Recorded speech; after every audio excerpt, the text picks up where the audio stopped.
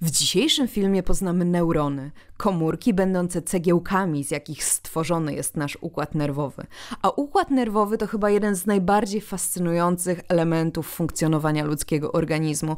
To on pozwala nam się poruszać w taki sposób, w jaki się poruszamy, to on sprawia, że jesteśmy w stanie rozpoznawać smaki czy zapachy, to on pozwala nam widzieć różne rzeczy, nie tylko ich kształty i kolory, ale po prostu widzieć w ogóle i jednocześnie rozumieć to, co widzimy. Bardzo istotną częścią układu nerwowego jest nasz mózg. Mózg, który jest organem pozwalającym nam rozumieć język, czytać, pisać, tworzyć i wypełniać wszystkie te najważniejsze funkcje, które uważamy za podstawę tego, co rozumiemy przez człowieczeństwo. Neurony ich budowa, funkcja, to jak są skonstruowane, jak są stworzone, stanowią absolutną podstawę tego, jak układ nerwowy funkcjonuje. Żeby rozumieć układ nerwowy, trzeba rozumieć neurony. I tym zajmiemy się właśnie w dzisiejszym filmie. O budowie i funkcji neuronu można by mówić w nieskończoność, ale moim zdaniem są dwie najważniejsze cechy, które tak naprawdę powodują, że neuron jest komórką bardzo wyjątkową. Pierwszą z tych cech, którą chciałabym, żebyś zapamiętał, jest to, że neurony tworzą bardzo złożone sieci z innymi neuronami. Neuron to jest komórka, która absolutnie nie funkcjonuje w odosobnieniu. Nie jest to erytrocyt, który przemierza nasz układ krwionośny od początku do końca, będąc pompowany w krwi i może sobie istnieć na własną rękę. Neurony istnieją tylko jako część sieci. Tylko wtedy mogą sprawnie i skutecznie pełnić swoją funkcję. Tutaj masz zdjęcie z mikroskopu konfokalnego które doskonale pokazuje, jak skomplikowane potrafią być sieci neuronalne. To, co widzisz tutaj, to są jądra komórek nerwowych. O, zaznaczam je w tej chwili dla ciebie na kolor niebieski, a to, co widzisz na zielono czy żółto, to są wypustki, które są tworzone przez neurony. Będziemy się za chwilę im przyglądać w sposób dużo bardziej szczegółowy, ale to, co chciałam Ci pokazać tym zdjęciem, to to, że neurony tworzą sieci i to właśnie te złożone sieci, ogromna liczba połączeń, jaka jedna komórka, jakie jedna komórka neuronalna potrafi, jest w stanie stworzyć z innymi komórkami, powodują, że nasz układ nerwowy jest w stanie funkcjonować tak, jak funkcjonuje. Tak więc pierwszą i najważniejszą w mojej opinii cechą komórki nerwowej jest to, że funkcjonuje ona jako część ogromnej sieci neuronalnej, jaka tworzy nasz układ nerwowy. Drugą, nie mniej istotną cechą, chociaż nie unikalną dla komórek nerwowych, jest to, że są w stanie one przekazywać sygnały postaci prądu elektrycznego. Nasz mózg działa na prąd. Kiedy myślimy, mówimy, kiedy chcemy wykonać ruch, kiedy w jakikolwiek sposób informacja jest przekazywana w naszym układzie nerwowym, jest to robione właśnie za pomocą przekazywania sygnałów elektrycznych. W oddzielnym filmie przyjrzymy się temu, jak to właściwie przebiega, ale dzisiaj chciałabym, żebyś pamiętał, że jest to jedna z dwóch najważniejszych cech neuronu. To, że jest w stanie on przekazywać impulsy elektryczne. Tak więc pierwsza cecha neuronu to to, że potrafi on tworzyć bardzo złożone połączenia z innymi neuronami, a druga cecha to to, że potrafi przekazywać sygnały elektryczne. Budowa neuronu, której za chwilę będziemy się przyglądać, zazwyczaj jest schematycznie rysowana w sposób bardzo prosty, ale ja chciałam Ci powiedzieć, że kształty rozmiary neuronów mogą być bardzo, bardzo różne. Naukowcy stworzyli taką wspaniałą technikę, która się nazywa Brainbow. Wkleiłam Ci tutaj zdjęcie z mikroskopu konfokalnego które pokazuje, jak ta technika może być wykorzystana. To, co tutaj widzisz, to są kolorowe komórki układu nerwowego. Każdy typ neuronu zaznaczony jest innym kolorem. To pokazuje, na tym wycinku mózgu, który jest tutaj przedstawiony, jak różnorodny jest nasz układ nerwowy. W zależności od tego, jaką klasyfikację weźmiemy pod uwagę, możemy powiedzieć, że są dziesiątki albo nawet setki różnych rodzajów neuronów. I to jest wspaniałe, dlatego że właśnie ta różnorodność neuronów, połączona z faktem, że tworzą one sieci neuronalne o ogromnym stopniu skomplikowania, tworzy nasz układ nerwowy działający w sposób tak wszechstronny i pozwalający nam osiągać takie możliwości, jakich nie bylibyśmy w stanie osiągnąć, gdybyśmy tak skomplikowanych sieci neuronalnych, opartych na bardzo różnych typach neuronów, nie mieli. Tak więc, bardzo różne typy neuronów, bardzo różne kształty, bardzo różne rozmiary. To jest to, co chciałabym, żebyś zapamiętał o neuronach na początek. Jest ich ogromna, ogromna różnorodność. A oprócz tej imponującej różnorodności, nie mniej imponująca jest liczba komórek nerwowych tworząca nasz mózg. Niektórzy uważają, że może ich być w naszym mózgu aż półtora raza 10 do 11, czyli jedynka z 11 zerami. To jest ogromna liczba. Ciężko sobie ją nawet wyobrazić. Ponadto te neurony, które są w naszym układzie nerwowym, wiesz już, że potrafią tworzyć między sobą bardzo skomplikowane połączenia. Takie połączenie pomiędzy dwoma neuronami nazywane jest synapsą i uważa się, że synaps może być w naszym mózgu nawet 10 do 14. Teraz, kiedy wiemy już, o jakich liczbach rozmawiamy, kiedy wiemy już mniej więcej, jakie jest zróżnicowanie w świecie neuronów, możemy zająć się tym, żeby przyjrzeć się budowie neuronu i temu, w jaki sposób przystosowany jest on do tego, żeby pełnić te skomplikowane funkcje. Po pierwsze, należy zaznaczyć, że neuron jest skonstruowany tak jak każda inna komórka pod tym względem, że ma ciało komórki, które widzimy tutaj, w jego środku podpiszemy sobie może ciało komórki. Ciało komórki nazywane także z języka greckiego perkarionem. Tutaj w środku widzimy jądro komórkowe, tak jak w każdym innym przypadku komórki, z drobnymi wyjątkami. Pamiętasz może wyjątek dotyczący erytrocytów. Ale to, co jest szczególne w neuronie, to jest to, że z tego ciała komórki wystają bardzo, bardzo różnorodne wypustki. Tutaj widzisz taki wypustek, tutaj i tutaj. W zależności od tego, czy to są wypustki, które przyjmują informacje od innych neuronów, czy to są wypustki, które przekazują informacje do innych neuronów, nazywają się one inaczej. Najpierw skoncentrujmy się na tym, co widzimy tutaj. O, to są wypustki nazywane dendrytami. Podpiszemy sobie dendryty. I to właśnie dendryty są takimi łapkami. To w ogóle jest często nazywane drzewem dendrytycznym, dlatego że widzisz, że ma kształt takiego bardzo rozgałęzionego drzewka dookoła ciała komórki.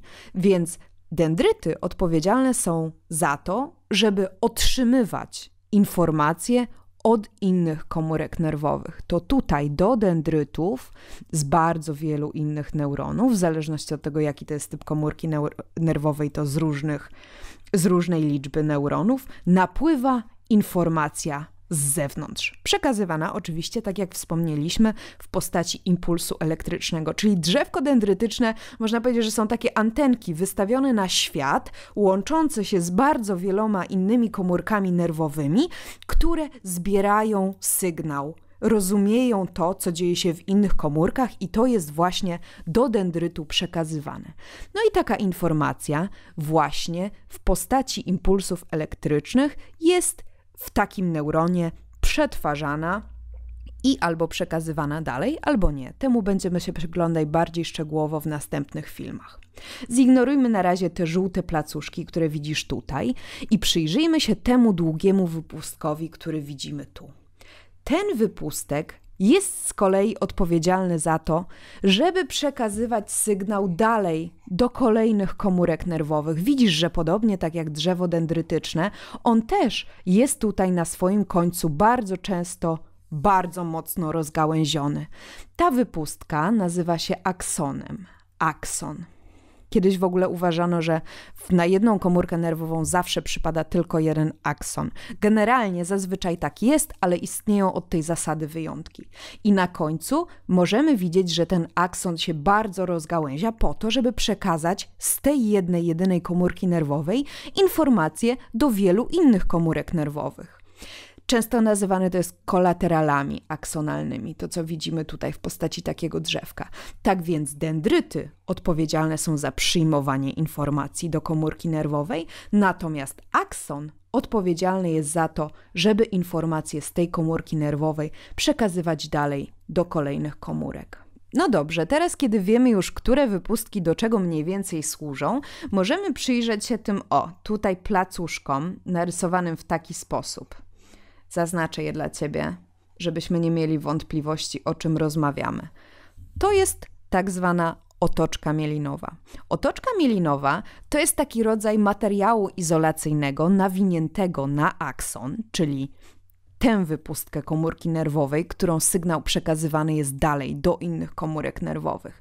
One służą, w telegraficznym skrócie mówiąc, do tego, żeby sygnał elektryczny, który będzie płynął w tę stronę, o, przez akson, był przekazywany bardziej sprawnie i po prostu szybciej. Dzięki temu, że tutaj mamy te otoczki, które nie przewodzą prądu, to sygnał, impuls elektryczny musi pomiędzy tymi otoczkami robić takie hop, hop, hop, hop, hop, po prostu przeskakiwać między nimi. I to się odbywa szybciej i bardziej efektywnie, niż gdyby miał płynąć przez akson wtedy, kiedy otoczki mielinowej by na nim nie było. Warto dodać, że Otoczka mielinowa jest tworzona przez inne niezwykle ważne komórki układu nerwowego, komórki glejowe. W ośrodkowym układzie nerwowym te komórki nazywają się oligodendrocytami. Zapiszemy sobie tę nazwę. Oligodendrocyty. Oligodendrocyty potrafią wyposażać w osłonki mielinowe otoczki mielinowe wiele różnych aksonów, to znaczy mogą, mówiąc brzydko, obsługiwać kilka różnych neuronów. Tutaj masz takiego oligodendrocyta i widzisz, że on wytwarza mielinę, która będzie tworzyła otoczki na wielu różnych aksonach, zgodnie z tym, co jest tutaj narysowane.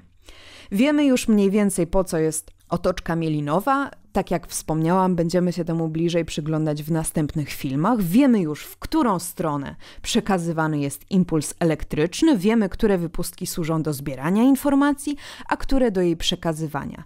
To, co mamy tutaj narysowane, to jest super schematyczne i drzewo dendrytyczne może być bardziej lub mniej rozbudowane. Pamiętaj o tym zawsze, ale to, czego nie można absolutnie zapomnieć, to jest to, że dendryt, narysuję sobie tutaj, o, to jest, to będzie ciało komórki, tutaj gdzieś będzie jądro komórkowe. To będzie ciało komórki i tutaj powiedzmy, że będzie wychodził dendryt, jeden dendryt. W ogóle takie dendryty, które wychodzą bezpośrednio z ciała komórki nazywamy dendrytami pierwszego rzędu albo pierwszorzędowymi. Te, które będą się rozgałęziać po pierwszej takiej rozgałęzionej kolaterali będziemy nazywać dendrytami drugiego rzędu i tak dalej, ale to nie jest super istotne. Przyjrzyjmy się teraz temu fragmentowi dendrytu. On na swojej powierzchni, tak jak masz to narysowane na tej ilustracji tutaj, ma coś, co nazywamy kolcami dendrytycznymi. To są takie malutkie wypustki. Zobacz, tutaj one są narysowane. Tutaj jest taki kolec dendrytyczny, tutaj, tego nie widać super dobrze, w ogóle kolcom dendrytycznym jest ciężko zrobić zdjęcie. To są struktury tak malutkie, że często rozdzielczość mikroskopów, którymi się posługujemy, nie pozwala na to, żeby, ich sfotograf- żeby je sfotografować z bardzo dużą wyrazistością. No więc przyjrzyjmy się teraz kolcom dendrytycznym. Dlaczego w ogóle warto pamiętać o tym, że one są? Dlatego, że to właśnie przede wszystkim na końcach tych kolców dendrytycznych, w szczególności takich, które wyglądają o, jak ten, jak taki grzyb, tworzone są synapsy, czyli, jak już wcześniej mówiliśmy, połączenia między komórkami nerwowymi. Czyli powiedzmy teraz, że ten akson, który gdzieś tam sobie poszedł, tą wypustką, też zresztą narysowaną tutaj w kształcie grzybka, którą widzisz, będzie się łączył z kolcem dendrytycznym na dendrycie kolejnego neuronu, do którego będzie on chciał przekazać informację. Tak więc należy pamiętać o kolcach dendrytycznych, o tym, że one właśnie są miejscem, na którym, nie jedynym, dlatego że synapsy mogą być również na ciele komórki, ale w przeważającej większości to właśnie na kolcach dendrytycznych tworzone są synapsy, czyli połączenia między komórkami nerwowymi. Zwrócę Ci jeszcze uwagę na jedno miejsce, które jest niezwykle ważne w neuronie. Zastanawiam się, jakim kolorem je narysować, może tym razem kolorem granatowym. Tutaj miejsce, z którego wychodzi akson z naszego neuronu, mamy tak zwany wzgórek aksonalny. Tutaj sobie napiszemy wzgórek. aksonalne. To jest miejsce ważne o tyle, że mówiąc w cudzysłowie, uważa się, że to tutaj zapada decyzja o tym, czy sygnał będzie przez nasz neuron, któremu się przyglądamy, dalej przekazany do innych komórek nerwowych. Mówi się, że neurony przekazują informację elektryczną na zasadzie wszystko albo nic. To znaczy, w momencie, kiedy sygnał już z tego wzgórka aksonalnego zostanie przekazany do naszej wypustki, do aksonu, to nie ma już odwrotu. To znaczy, że dotrze on aż do samego jego końca i zostanie dalej przekazany do kolejnych komórek, do których ten akson jest połączony. Tak więc należy pamiętać o wzgórku aksonalnym, że jest to takie miejsce, po którego przekroczeniu impuls elektryczny nie ma już odwrotu i musi pójść po prostu aż do samego końca aksonu. To wszystko, co chciałam Ci powiedzieć o budowie neuronu. Następnym razem zaczniemy się przyglądać temu, w jaki sposób neuron funkcjonuje i jak w ogóle to się dzieje, że jest on w stanie przekazywać impulsy elektryczne. Do usłyszenia następnym razem.